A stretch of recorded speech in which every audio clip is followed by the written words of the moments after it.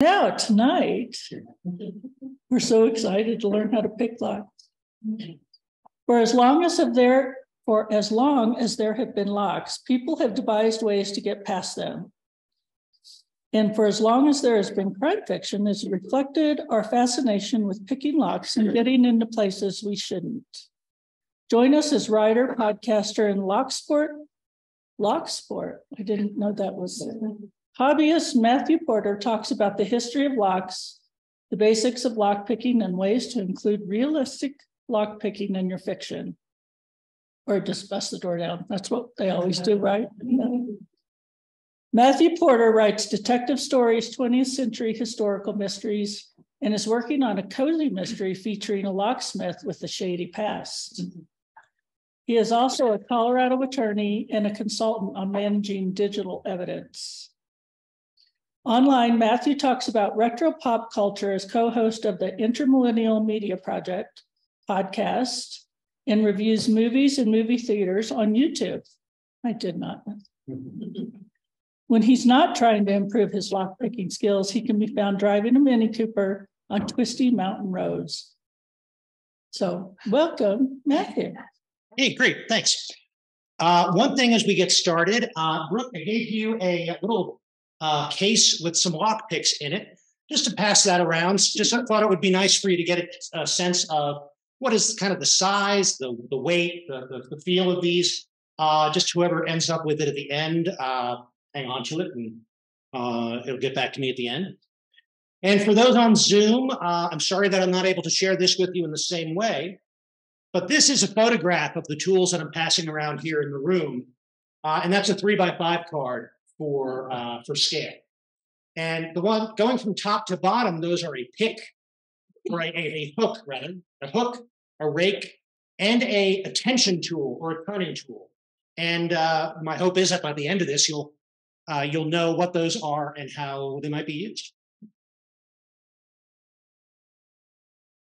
So long, long ago, thousands of years ago, some human being regarded some stuff and said, That's my stuff. I don't want anybody else getting at my stuff. So we're creatures of ingenuity. We figured out ways to keep other people from getting at our stuff.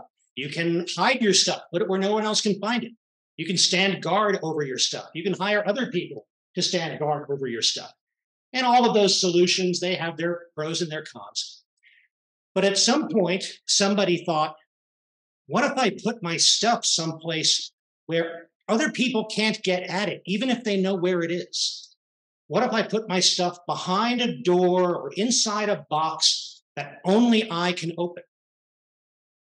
So we invented locks. And just in case you think I'm exaggerating a little bit when I say this started thousands of years ago, I've got a little video I want to show you. There's no audio to this, it's just a video illustration. That's a, a doorway that it's going across.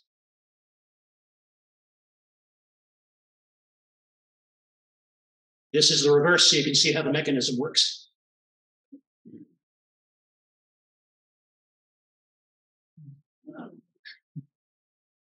Now, that's a, a, a replica a kind of lock mechanism, uh, lock design that has been found in, in sites in Egypt and in Assyria, in modern day Iran.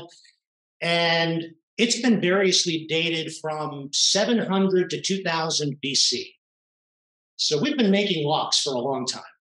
And I don't think it was too long after, this is less well documented, but I don't think it was too long after people started using locks that other people started to think, I don't have the key, but I still want that stuff. and they figured out ways to get past those locks. Now, this lock, it's big, it's clunky. I wouldn't want to carry that key around on my belt, but we kind of recognize it as a lock. And there are a lot of things about it that are similar to a lock that you would see today. This is what I'm showing here is what I think of as a locking system. The lock is one part of this, or what we think of as a lock is one part of this. But the whole system is there's something that is designed to move. It's a door, the lid of a chest. And then there's something that keeps it from moving the deadbolt in your door, the bolt that goes across the front of the door, like in that uh, video we saw, um, a hasp on a, a chest that is secured by a padlock. It keeps the lid that otherwise could move from moving. Then there's the lock mechanism itself. And that's what we think of as the lock and what we talk about when we're picking locks. This is a mechanism that controls that bolt or that bar, keeps it from moving or lets you move it when you want to. And then there's the key, an object, something that engages or disengages that lock mechanism. And all of those are present in the door on your house today, and all those were present in that lock from a few thousand years ago.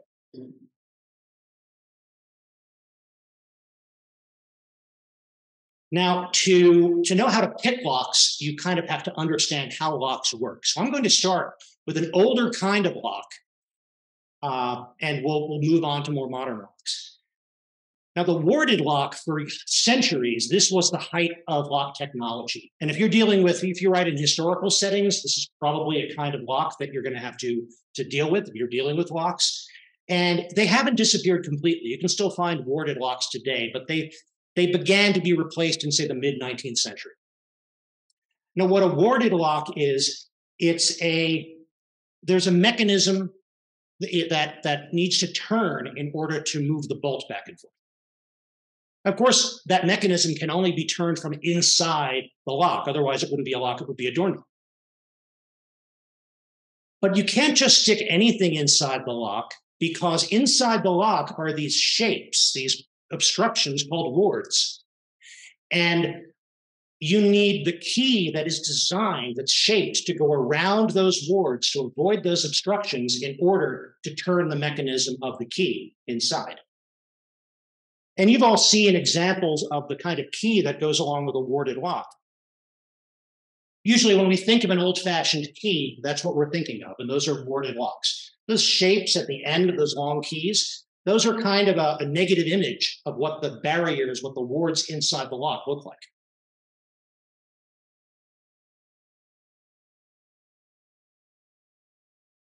And as I said, they're not really gone. Warded locks you can still find. Here's a more modern kind of warded lock. Warded locks are not really used in any high security applications today, but you might find them on cabinetry where the locks are mainly decorative. You might find them on certain office furniture or luggage locks. And some things that are, are kind of giveaways on this fact that they're warded locks. Um, you've got the keys that are cut here, but there's no difference in height. Either there's a cut or there's no cut. That's typically what you would see in a warded lock compared to the key you probably have for your front door, which has lots of different heights. It's very jagged. And we'll talk about why that is in a modern lock a bit. So, how do you pick a warded lock? Well, again, you kind of have to understand something about how those warded locks work inside. And the, the trick to a warded lock is not everything on those fancy, complicated keys actually does anything. A lot of all that stuff that's on the end there, very complicated, that's there to obfuscate what's really happening inside the lock. And it's to make sure that if you have a key for another uh, instance of the same design of lock, you can't use that other key because it's not designed for the same exact wards. But if you know that only certain parts of that key have to do anything, you can make something that only has those parts. And that's where we get the idea of skeleton key. Sometimes you'll hear people refer to kind of any example of those long, old fashioned warded lock keys as a skeleton key. That's not exactly correct. Because what a skeleton key is, is when you take a lock like a, a key like that and you cut away the parts you don't need. You file them away or cut them away. You only leave the parts that actually do something that has to happen inside the lock, only the bare bones of the key. And now that key will open lots of locks. Here we've got the uh, the the actual key over on the uh, the top left illustration, and then we've got a skeleton key cut from that kind of key. There might be a lot of other locks that have different shapes inside there because the wards are shaped differently. But if we know that we only need those two levers to do anything, that skeleton key will open up that whole series of locks. Here are some skeleton keys cut from more modern uh, warded lock keys because these keys are designed that only the little piece at the very end is what turns the lock. You can cut away all the rest of it.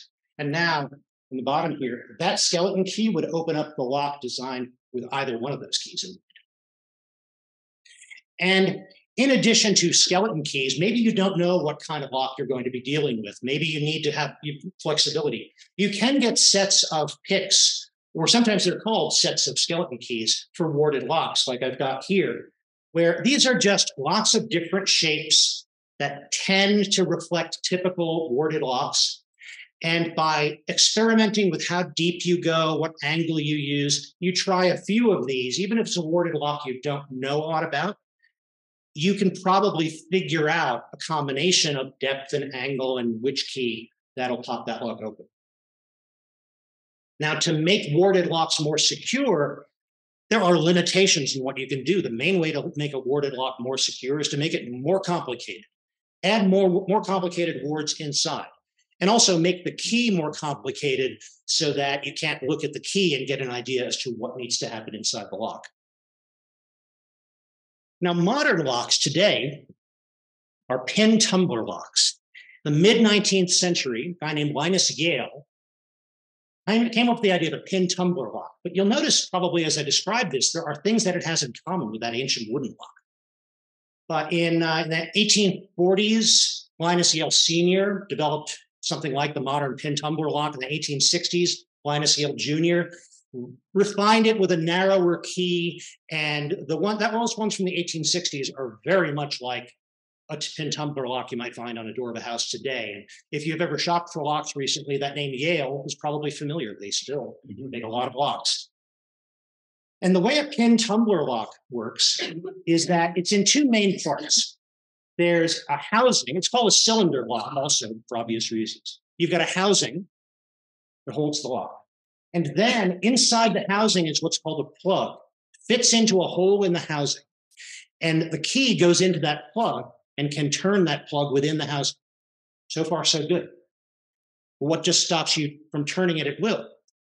That's because there are holes that are drilled through the housing and the plug that line up. And in each one of those holes are pins or pin stack. This pin stack at the very bottom there, the green section, that's what's called the key pin. Above that is called the driver pin. And in that white space up above, that would be a spring to keep a little bit of pressure to make sure that those uh, pin stacks stay on the bottom. And this line here, that's the line where the plug meets the housing, where would, they rotate opposite one another. But as long as those driver pins are crossing that shear line, partly in the housing, they're partly in the plug, those pins, they're tiny, but they're tough metal. You can't turn that plug. Therefore, you can't turn that lock. So, how do you turn it with a key? Well, the key lifts those pins to the exact right distance so that the where the driver pin meets the key pin is lined up exactly on that shear line. Then you can turn the plug. And you'll notice that those key pins, they're all different sizes, all different heights. And they're called key pins because that's what matches your key. The reason your key is jagged in that way is that each one of those hills and valleys in the key matches the height by which the key has to lift that particular pin that's in that position when the key's fully inserted. As long as that happens, you can rotate that plug with ease. The driver pins stay up in the housing, the key pins stay down in the plug, and the key can turn the lock. But what if you don't have that key? Well, we know how it works. We've got to get those driver pins out of the way. But how do we get those driver pins out of the way without a key? Well, one way to do that is by picking the lock. And one of the ways of picking a lock is, is kind of the most fundamental single pin picking. That means you're reaching in there with a tool and you're feeling around so you can feel the pins and you're lifting each pin up one by one instead of all at the same time like you would with the key. And that's great. But then what happens if you lift one of them, you move on to another pin What prevents that first pin from falling back down because it's got that spring on top? Well, the reason that's possible is that no lock is perfect. Ideally, a perfect lock cylinder, all the holes will be lined up on the center line of that cylinder exactly like you see at the top there. But manufacturing isn't perfect. Certainly, it's not perfect uh, at a, in a way that can be mass produced in an affordable manner. Realistically, every lock is going to be made accurate within certain tolerances, but there are going to be little flaws. The pin, the holes are not going to be lined up exactly right. The second part of this is that you're not just using that hook to push the pins up. There's another tool that you're going to have in that lock, and that is called the, the tension tool or the turning tool. Sometimes you'll hear it referred to as a tension wrench. I think that's a little misleading because a wrench suggests you're putting a lot of force into it. And the opposite is true. You're putting a tiny bit of force because you still want to be able to move those pins, but you're putting a little bit of rotational force as you're poking those pins upward with the hook. And what's happening here, you can see that as you turn, a little tiny shelf is created by the outside of the plug. Now, at, because the pins are not lined up perfectly, at any given time, there's really only one pin that is stopping that whole cylinder from turning, that whole plug from turning. So when you're picking the lock, you're looking for that pin. You're looking for the pin that is binding, the one that's hardest to move. You don't want to put so much rotational pressure that you can't move it. But you're gonna you're gonna tell that one of them is harder to move than the other. others. That's the binding pin. You lift that binding pin up while you put that rotation on it, and that's when you get a little click. And the click is what happens here when it, the cylinder turn the plug turns a tiny bit and the driver pin is held up by that little shelf that's created. And as you go through, once that's in place, then you look for the next pin that is binding and you lift that up until you get that to click into place. And they might not be in, all in line. You might go to one pin, skip several, go to the next pin, lift that up, get that to click into place. When you get that final pin clicked into place, that means all the driver pins are above the shear line, and suddenly you can turn that plug.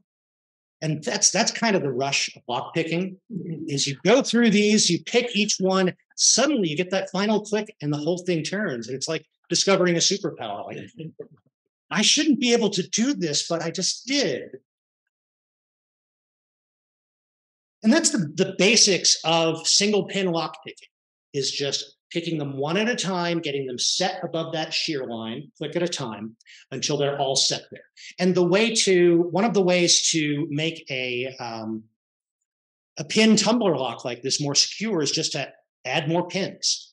A, a seven pin lock is going to be harder to pick than a three pin lock simply because you've got more pins to pick. And the more pins to pick, the more chances there are for something to go wrong. Like you accidentally let, too, let a little of that pressure off with the turning tool, and some of your pins that were set fall back down. You've got to start again. Things like that. Another way you can make a pin tumbler lock more secure is to change what the driver pins look like. This is showing, this is, these, these diagrams are showing what the driver pins would typically look like. They're just smooth cylinders. And by the way, we are talking really tiny, even that little shelf that they sit on, we're talking fractions of a millimeter. But it doesn't take a whole lot to keep one of those pins out of the way once you get it in place. But to make things more secure, you can put in what are called security pins. They're usually put in place of the driver pins. And those are pins that instead of being smooth cylinders, they're mushroom shaped, or they're spool or spindle shaped, or they have, they're serrated, they have little grooves in them. Because what the person is uh, designing the security is trying to do is it wants to give that pin other places where it can catch on that shear line or on the edge of that housing. And you can get what's called a false set. I think I've got it up there. I heard and felt the click, but it was really clicking on one of the many edges of a spool shaped pin. It wasn't really clicking completely out of the way. And of course, then there are techniques and ways to kind of figure out is that a false set or a real set? And how do I get around that little false edge on the driver pin to push the whole thing out of the way. And by the way, I mentioned that warded locks are completely gone. Warded locks, the warded lock technique can also be combined with a pin tumbler lock to make a lock more complicated and secure. The very fact that when you look at the keyhole on your, your, your lock, it's kind of squiggly. That's kind of a ward. Only things, only keys with the certain profile are going to fit into that lock. Now, there are some other techniques for picking locks, because, but they all come down to wanting to get those driver pins out of the way up above the shear line. Two of the basic ones are called raking and picking. And there you're essentially playing the odds. You're putting a little bit of that turning force on there with the tension tool, and you're using a tool. Either, you can do this with a regular hook-shaped uh, lock pick, or there are uh, lock picks designed specifically for raking. And you're just kind of moving them back and forth across the keys, figuring that one after another, whichever pins are binding are eventually going to all get caught above the shear line. Jiggling is similar, it's just a slightly different um, method. Some people would refer to either of these as a kind of raking, uh, but it's really just a, a quick. And if somebody's really trying to get through a lock quickly, and they have some sense that this lock might be susceptible to, to raking or jiggling, that's the first thing they'll try because it can be really quick. I, I wasn't going to do any like demonstrations because a it can be boring. It take a while to do like single pin picking, but raking or jiggling are the closest that lock picking sorts of kind of seems to a, a magic trick. So I'm going to give this a try.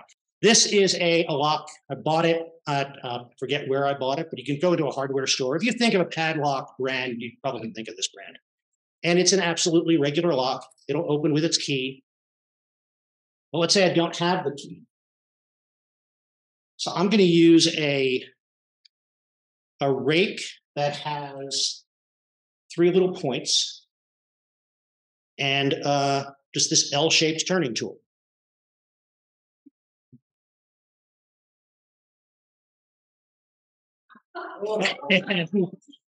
And there are hundreds or thousands of sheds and toolboxes and everything else that are secured by these pins, by, by these uh, by these locks.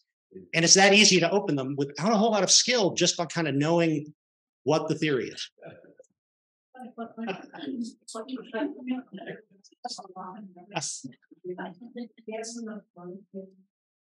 Oh, and by the way, they, you can also get tools that are they're they're called jigglers. Some of them.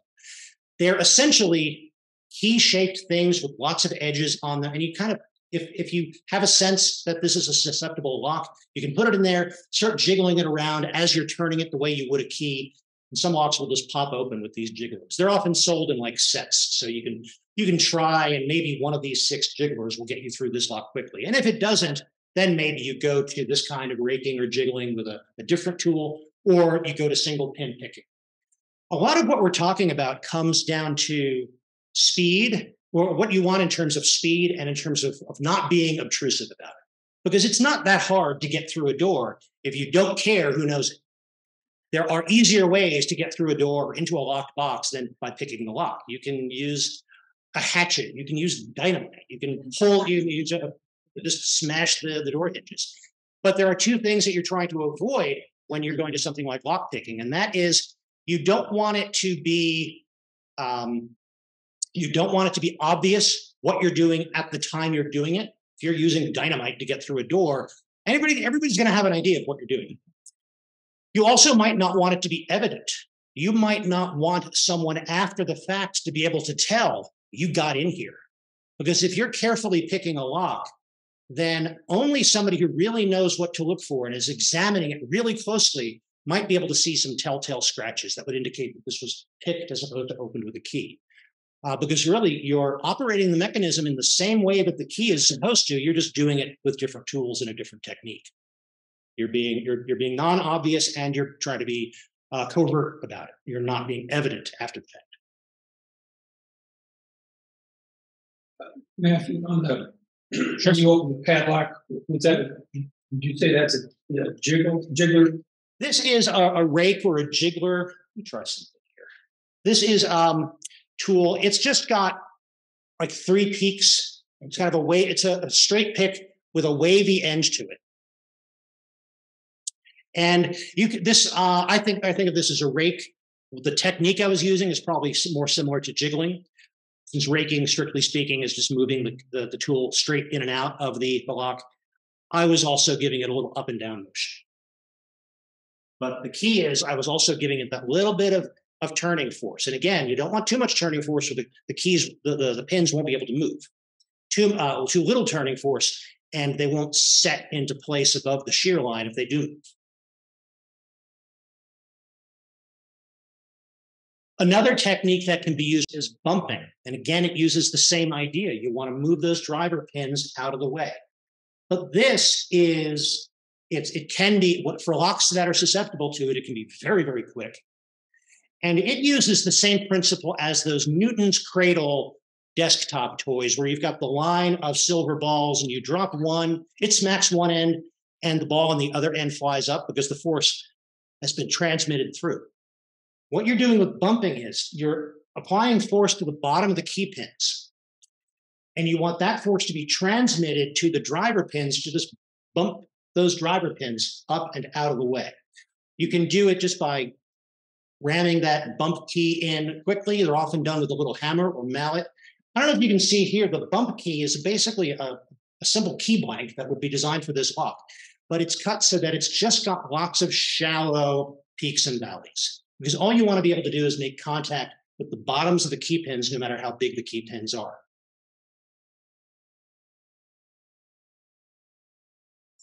And again, if you're turning that key a tiny bit as you bump it, then as soon as those driver pins clear the shear line, you'll be able to turn it the rest of the way, just as if it was the key designed for the lock. And there are some other tools that use that same principle that they sort of automate that bumping idea. One is a snap gun. It's sort of a spring loaded thing that's designed. You got to get the angle just right, but it's just designed to snap and hit all of those key pins at the same time and bump the, the driver pins out of the way.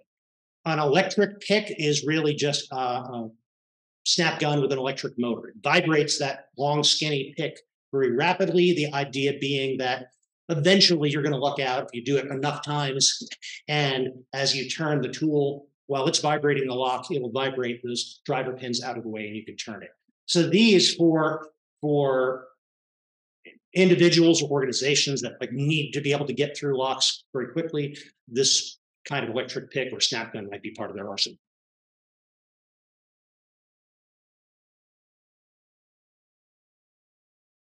Now, so far, we've talked about pin tumbler locks, which really are the most commonly found lock today. We also talked about warded locks. I just want to acknowledge the fact that there are some other kinds of locks that uh, that you might encounter. Lever locks, they work similar to pin tumblers, but I mean, they all work similar in that there's something that's preventing the bolt from moving. But a lever, there are a series of stacked levers inside, and the keys are set up so that they move each lever the exact right distance so that the bolt is clear and everything can move. Wafer locks, you'll find these in things like file cabinets and the like. They also are, they're more similar to pin tumbler locks in that there's something that moves up and down, but instead of the stack of pins, it's a, a set of metal wafers with holes in them. And those wafers have to be lined up just right in order to allow the key to turn. And the key is what lines those wafers up just right. There are definitely techniques for um, for picking wafer locks and lever locks. Lever locks can actually be very difficult because it's hard to know exactly where's the pivot point, what's the shape of those levers inside. But there are sets of picks you can get that have usually little square flag shaped ends that are designed to manipulate levers. For wafer locks, you would typically have a set of picks kind of like this, which are designed the ends would work with lots of different kinds of wafer sets. And again, you try different ones, you jiggle them around a little bit. And one of these would probably work on most of the wafer locks that you'd find. And disk detainer locks. That's a tough one because in theory, disk detainer locks can be very secure, very tough. The way they work is there's this sidebar that's outside the stack of disks and in the edges of the discs are what's called the gate. And when that, when all the discs are lined up just right, that gate is open across the entire stack of discs and the sidebar can fall into that gate and out of the way of the rest of the mechanism, and the lock can turn. And the what can make disk detainer locks really uh, really secure is the fact you can put lots of other notches and grooves around the edges of those disks, and that means you've got what are called false gates. You turn you're turning if you're trying to do the equivalent of single pin picking, turning each of these uh, disks at a time you might turn one, you get a nice satisfying click. Oh, okay, that's I found the gate. Really, what you found is a false gate. When you uh, you go to the next uh, disk, whether you get to a true gate or a false gate, it's not going to line up with what you had on the first disk. There are tools and there are ways to kind of feel what is a false gate versus a true gate. And that's really what a lot of lock picking comes down to. It's, it's understanding that feedback that you're getting from the tool. What does it feel like when it's a real click as opposed to getting caught on one of the security pins or getting caught on a false gate? A lot of it is kind of visualizing what's happening inside and working out what the changes are based upon how it sounds and how it feels. And the reason I said that the, the disk detainer lock situations can be iffy is that they can be very expensive to make. And there are a lot of cheap disk detainer locks that are manufactured and imported. And if they're made of cheap materials or they're not carefully constructed, it can be easy to break them or otherwise get through them. So a good design, not always really well implemented when you're actually going to buy a lock.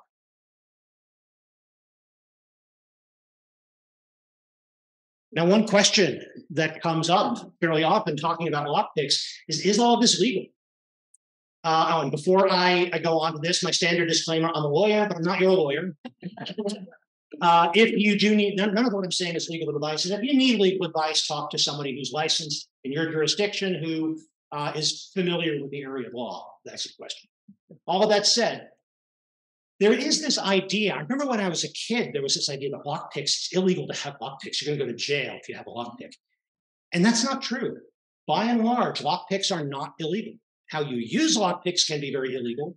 And the fact that you did something illegal with a lockpick can create a, an extra charge that you might be charged. All the states here in green, those are states in which either because it's specifically allowed by statute or because there's no law against it, lockpicks are legal. Again, if you're using them in the course of a burglary, then they're burglary tools, and that might change, might indicate uh, a different level of of preparedness and so on. But by and large, having lockpicks, not a problem. The states that are in red here, uh, Nevada, Ohio, Virginia, those are states in which it's not illegal to have lockpicks. But having lockpicks can be used by a prosecutor as what's called prima facie evidence of criminal intent. So if they want to accuse, if, so let's say there's a law about you're in a place you're not allowed to be that might be simple trespass. But if you're in that place you're not allowed to be with criminal intent, with the intent to commit a crime, then that's a whole different, maybe that's now a felony. That's a, a more serious charge. To prove that criminal intent part, all the prosecutor would have to do is prove he had a set of lockpicks for you. Criminal intent is proven. You would then have to somehow prove, well, even though I had lockpicks, I didn't have criminal intent and that can be tough. So that's that's the issue in those states in in, uh, in red. Mississippi is a strange one because well, it's perfectly legal to have lockpicks unless they are concealed.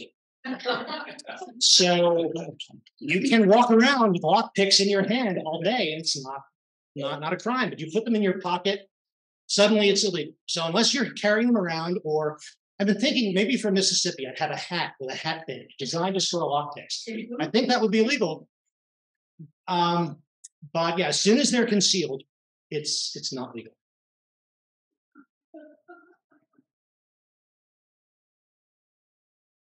And speaking of concealed lockpicks, uh, over here we've got something interesting. I don't know if they're available but we've got these stylish earrings. And if you know what lockpicks look like, you would probably recognize we've got we've got turning tools, we've got rakes, we've got hooks, we've got what's called a half diamond, another shape of lockpick. Um, I'm sure they look delightful until you take them off when you need to use them. And and on the other side, there there's a lot of companies that make these. These are examples of, of cards that you get. It's a thin steel card. You can keep it in your wallet. Don't do that in Mississippi. keep it in your wallet, and you can punch those out easily and have those tools available. So this one has, you can see at the top there, it's got a hook. It's got a three-peaked rake, like the ones I used to pop that uh, that padlock. It's got a jiggler in the middle there with the keyhole in the in the handle. There's a handcuff key, um, a wafer lock key, and then a, a, turning tool at the very bottom. This tool, I don't know if you can see that outline over here on the far right hand side of that card. That can be used as a turning tool for certain kinds of locks. It can also be used as what's called a comb pick.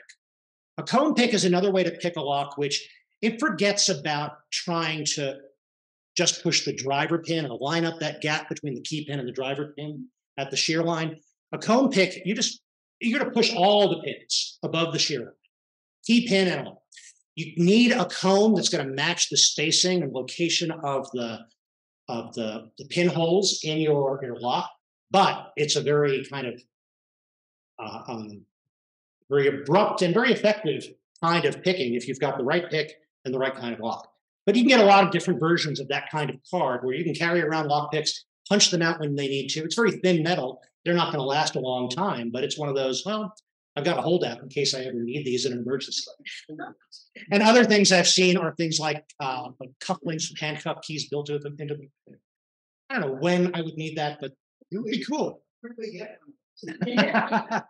I'll have some information about that. There are a lot of companies that uh, that sell lockpicks to hobbyists now because it's become a bigger and bigger hobby. Uh, we mentioned the term lock sport earlier.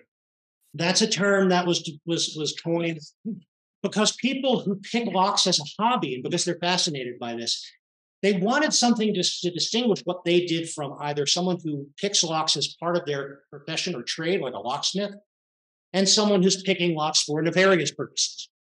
Lock sport is kind of picking locks for fun and interest and, and edification. And there are there are competitions with lock sport, and there are people who will create challenge locks and send them to other people. So there are competitive lock sport folks. There are just I don't compete in any way. So it's like running. Some people compete in races, they run competitively, and some people just run. For me, one of the things is, is picking locks. So, if you're going to incorporate lock picking or a scene or a character involving lock picking into your fiction, a couple of suggestions. One is to have a sense, now that you know something about the way lockpicking works, get a sense of, have an idea of what kind of lock this would be, what kind of lock would make sense to be if, if it's on a door of a house, or if it's in a high security facility, or if it's a, a padlock uh, securing a trunk. What kind of lock would it be? And what would be the right way to pick that lock? What kind of tools might the character want to use? And what is your character's level of skill? Is this going to be easy for them? They've done this a hundred thousand times, or is this something that uh, they're desperate, so they're going to try this? I mean, maybe they've heard something about lockpicking. One thing I, I, that really bugs me is when I see a lockpicking scene on TV or a movie, and the lockpicking in uh, consists of a of like a straight hairpin and 30 seconds and no experience. That's rarely going to get you through a lock. But if you know what you're doing and you've got, say, one or two bobby pins, you could take those two bobby pins or break one of them in half, bend one of them into a turning tool, maybe use the other as a rake. And if that doesn't work, bend it into a hook and try to pick the locks. You absolutely can improvise lock picking tools. And but if you know how lock picking works, you can describe that improvisation. You can describe the materials they decide to use and do that more accurately and more compellingly. Oh, and I skipped one here. If you're got, you have a character who's uh, lockpicking is part of what they do, either because uh, uh, for, for good reasons or bad. And what is their everyday carry? What lockpicks tools do they like? What do they carry around with them? Every uh, my everyday carry is pretty much this set here. If I don't literally carry it every day, but if I might want my lockpicks with me, this is the, the case that I'll toss into my uh, satchel. And it's got a bunch of a few hooks, a bunch of different rakes, and a few different turning tools. Because depending on the size of the keyway, you might want different turning tools, either ones that can be more forceful, ones that will fit bigger or narrower keyways. But really, realistically, I could probably strip my everyday carry down to something more like that set that I passed around earlier. Three or four tools that would handle 85 to 95% of what I would likely encounter.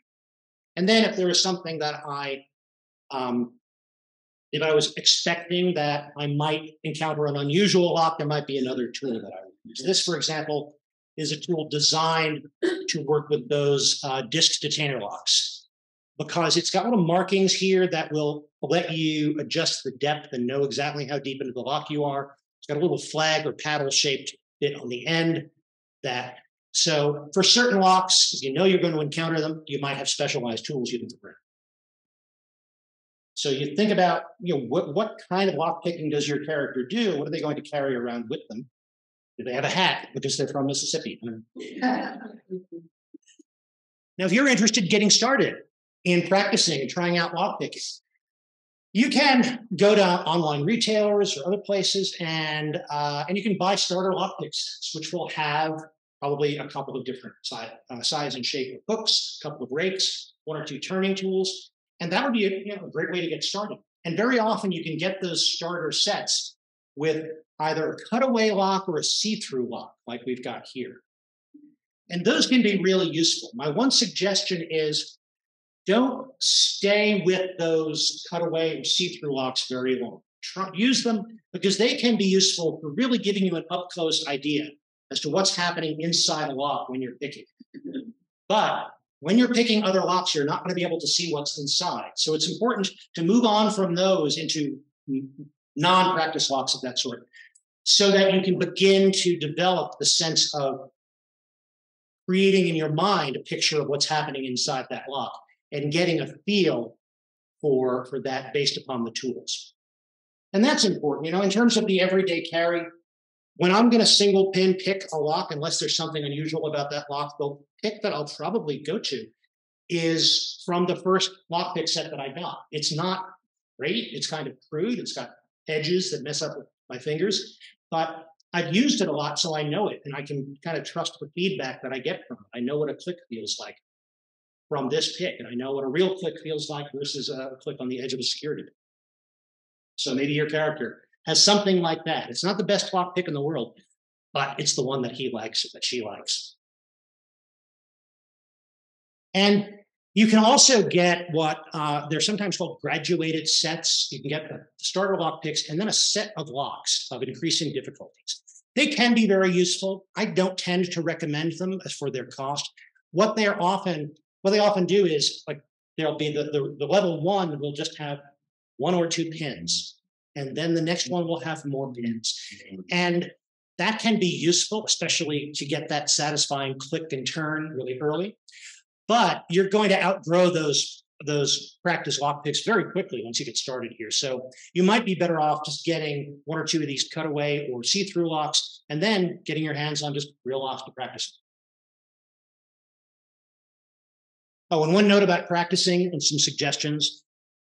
Of course, don't open locks that aren't yours or that you don't have explicit permission from the person who owns that lock. And also, I'd suggest don't use locks that are really in use for something important, even your own, because it is very possible to break locks picking them, especially if you're practicing. There are padlocks that I was starting out, I only had a few locks, so I picked them over and over and over again. And there are locks that I've broken just by picking them up. Uh, you compare how many times you can pick a lock in an hour versus how many times you're really going to use a key in a real world situation. And also, lock picks can break and they can break off inside locks. There are a lot of ways that lock picking can damage a lock, especially if you do a lot. So don't practice on the lock that you're counting on to secure your, your house.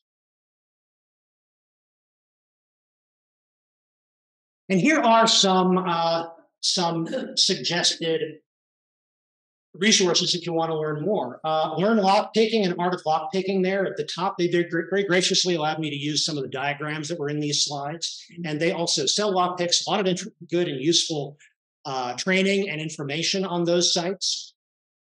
Uh, Sparrow's Lock Picks is a, uh, a company from whom I buy a lot of my tools just because I think they are they well made and they've got a lot of variety. Um, Tool, T O O O L, the Open Organization of Lockpickers, is is exactly what it sounds like. It's an organization for hobbyist lockpickers, and there a lot of a lot of good information on their site. There tends to be a group for each um, for each nation or for, for a lot of different countries. That's the tool.us is the uh, the US organization.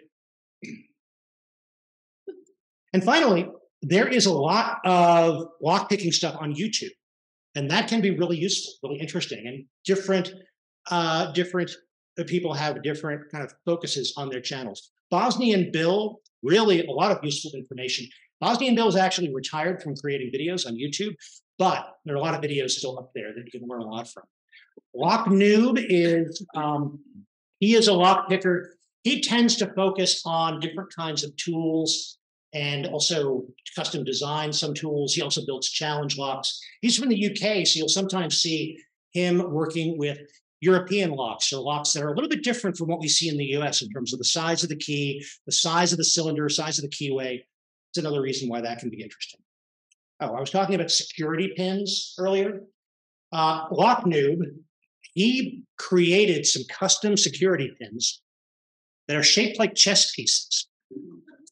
So they're very effective as security pins. Chess pieces have really convoluted, interesting shapes, but it's also the kind of thing where no one would know this unless they're a lock nerd and they're disassembling it to rekey it.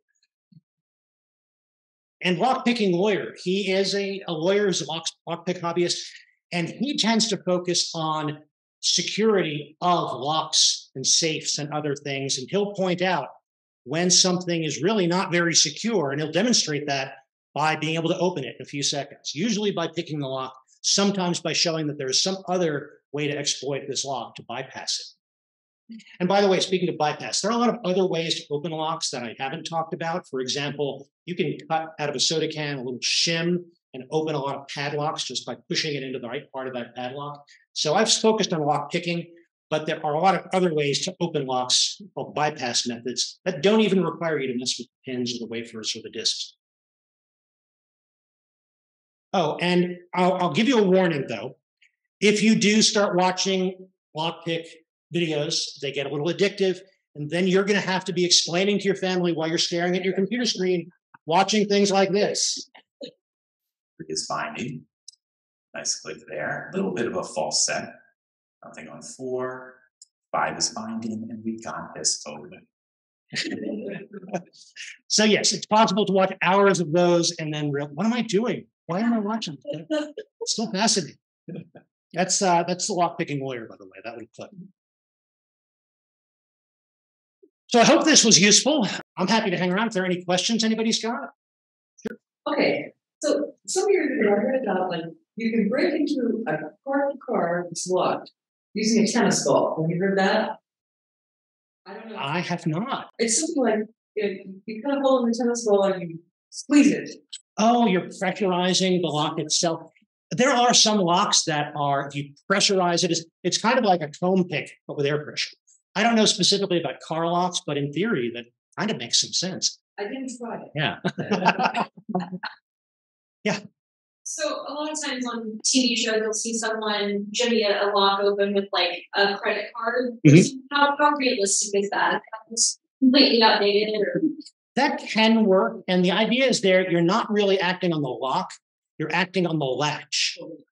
If the latch, a latch that's designed to automatically engage when a door is closed, is going to be flat on the on one side to prevent, prevent it from opening, but it's going to be curved on the other side so that it can close and latch itself when the door closes.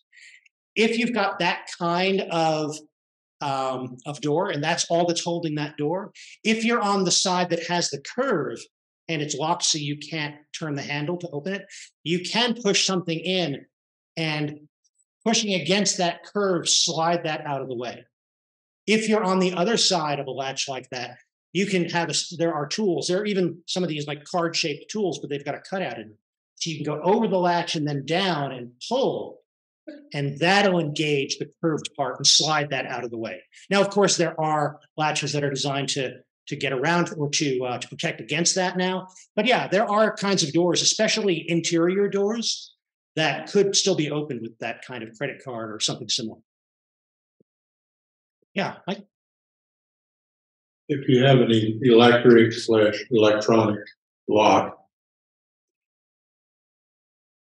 Fine, you've got something that does this or that or whatever, but is it, it's, it's still the same kind of. Of mechanism, which is just a pick it up. yeah, there's still going to be something in there because most of those, most electronic locks, even if they're a keypad, they're going to have some kind of a key backup. What if you have to get in there and there's a, a power failure and your backup batteries are? So there's going to be some way to open it with a key. And if there's a way to open it with a key, it's going to have disk tumblers or it's going to have wafers. It's going to have disk detainers. So there's going to be something that is pickable. Now, there again, how long is it going to take? Probably if it's a high security uh, keypad lock, they're going to have high security backup mechanical locks as well. And one of the things about lock picking is I talked before about being not wanting to be obvious and also want, not wanting to be evident. Part of this is how long is it going to take you and how much how much are you going to need by way of tools?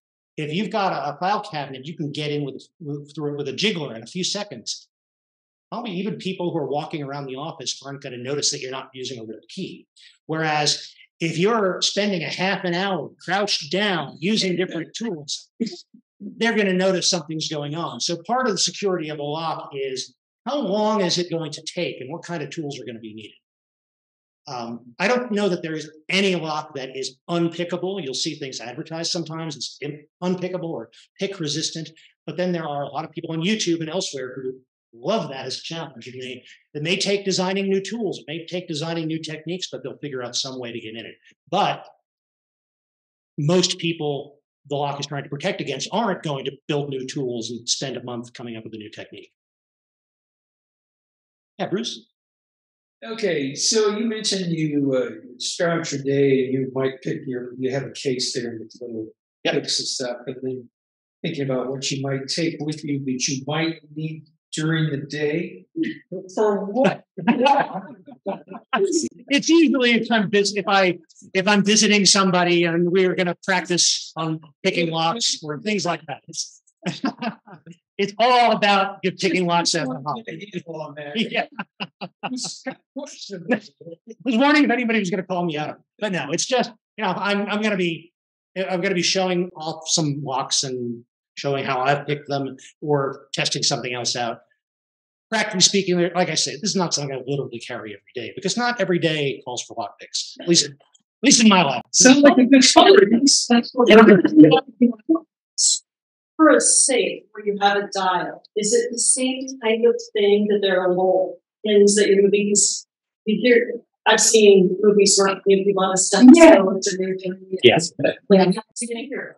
They tend not to be exactly the same as a pin tumbler because you're not lifting things up into position. Instead, it's a little bit more like those disc locks that I showed, in that there are a bunch of different discs, and there are pins on those discs that will turn the disc inside, depending on which way you're turning the um, the, the dial. That's why when you're opening those combination locks, it'll usually the instructions will be uh, start out by turning it to the right three times, then start going to the numbers because the first thing you need to do is get them lined up in the right place, and then each rotation is going to change each one of those discs. And if there's three numbers in the combination, probably means there's three discs that have to be lined up in the right way. And when those are lined up, there's a space in the disc that now allows the handle to be turned and the bolt to be moved.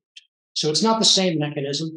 And uh, yet there are a lot of people who are into lock picking are also into that. Uh, for, for combination locks, it's generally not called picking, it's called decoding. It's really what you're doing is trying to figure out what is the code that represents what's happening inside the lock. And also there are a lot of bypass methods where you can just stick things in between the little dials on the spinny luggage locks that will will pop it open for, for bypassing. Is it true you can use a paper clip to open uh, handcuffs? You can use a paper clip to open handcuffs. You maybe there are universal, there are very common, very simple shapes for handcuffs, uh, handcuff key mechanisms. There are you know, universal handcuff keys. That's why that uh, that card punch out I showed you was able to include a handcuff key that would work in a lot of handcuffs.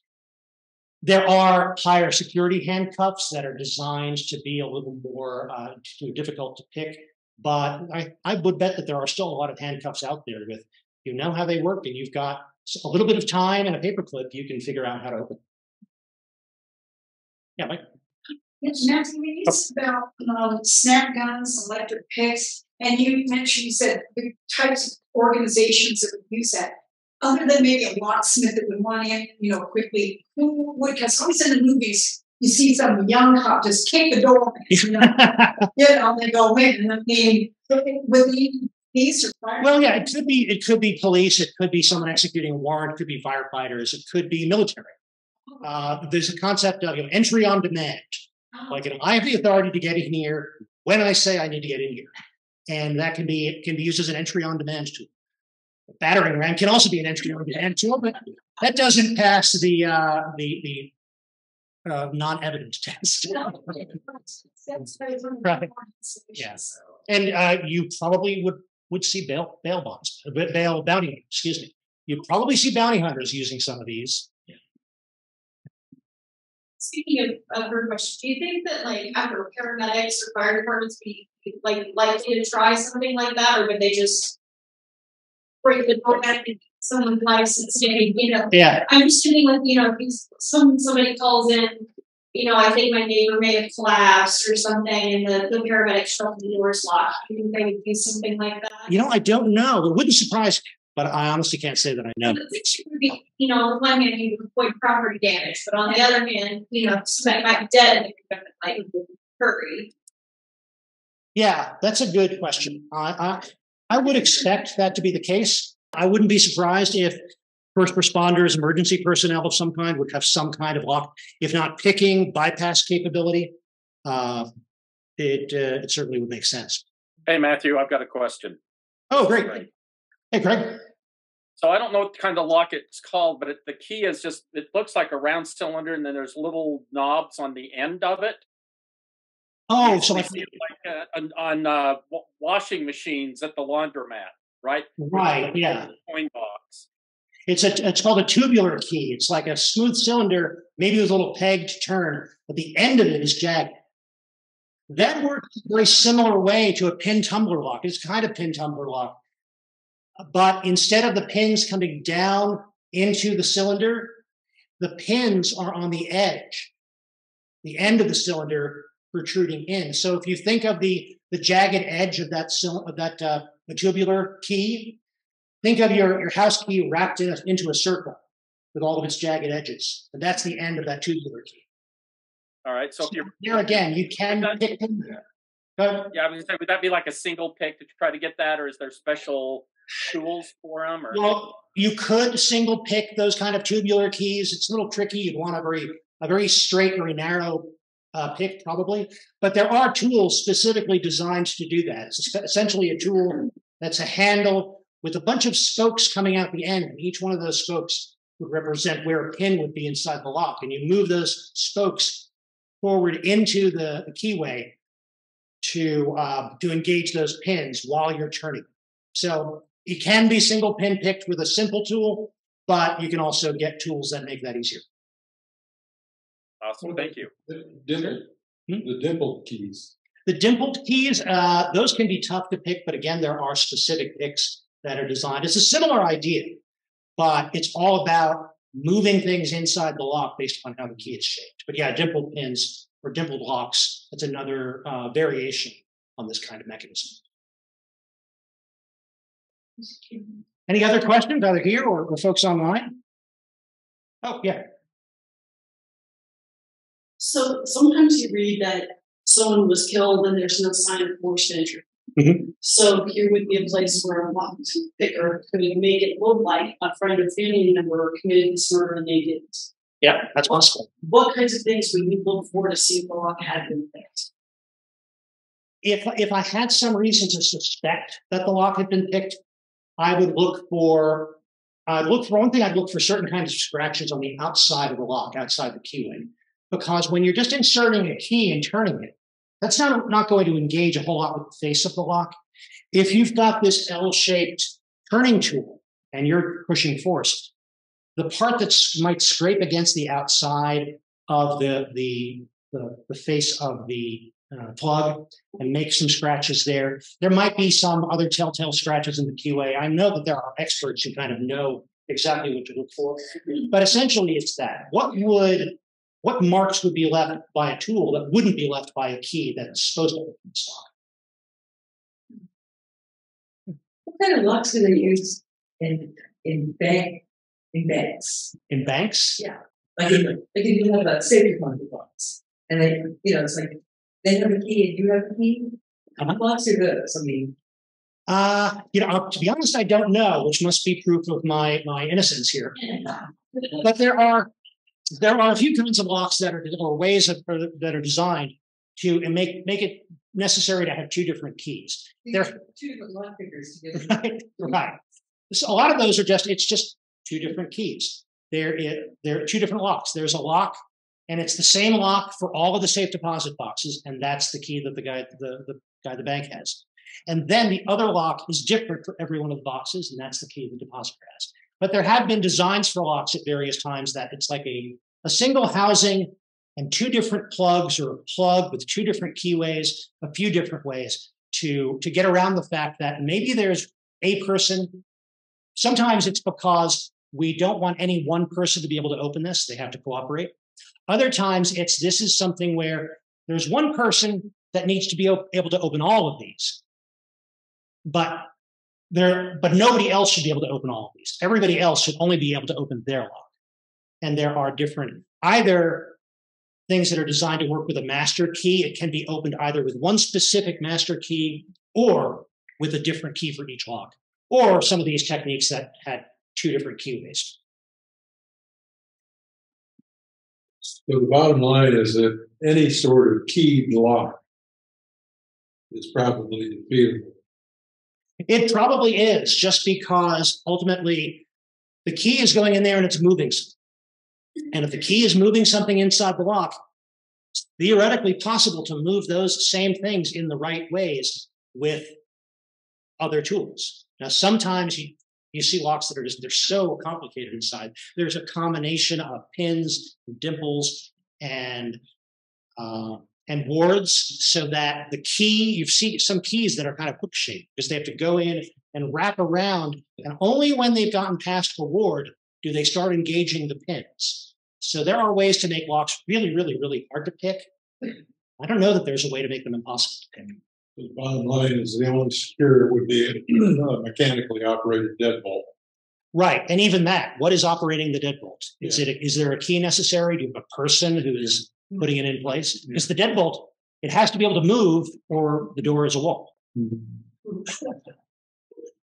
Uh, question, I regret asking this. How secure are our latches, like uh, window latches, and things that are not meant to be keyed open from the other side, but just have some sort of latching mechanism on the inside? Well, yeah, they could make a great point there that they're not really locks; they're latches. They're designed. You can you there's you don't need any special knowledge or special object like a key to move them. You just have to have access to the latch itself. So really, they are as secure as your ability to prevent people from getting access to. it. If it's a little window latch on the other side of a glass window pane, it is as secure as the window pane is hard to break, and as the person who wants in is willing to break that window pane.